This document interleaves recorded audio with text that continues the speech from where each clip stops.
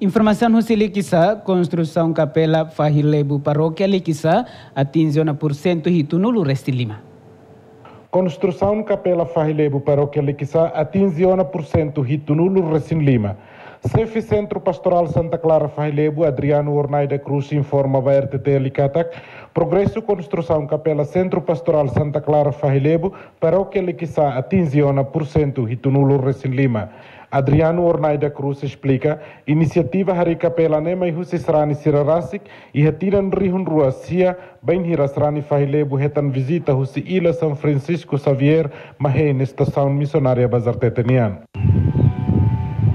konabate preparação na possível para ver São Francisco e colhe konabate né preparação em pai do Sira di de di halo uma lak né halo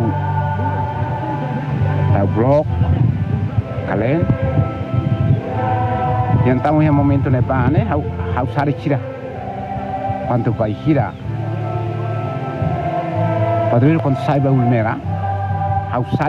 Jussi Sorenselo, presidente e comissão organizadora Construção Capela Failebo Martino Ribeiro Hactuir, fundos para construção Capela Failebo, hamutuk dólar americano rihun hat resin, mas Jussi contribuição sarani siranian. assim eh, orçamento né?